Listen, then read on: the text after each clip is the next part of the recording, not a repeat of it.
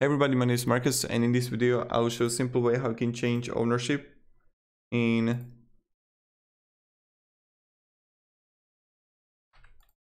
Smartsheet. So let's start. The first thing that you want to do is just be in Smartsheet and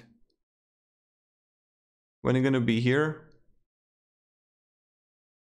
you just want to go right top corner to share and then click here on collaborators and then I have like second mail here and what you can do is simply change from editor can share to make owner.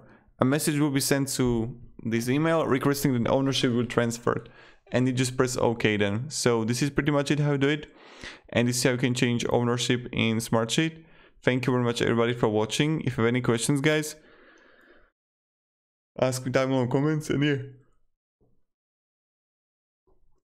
Goodbye.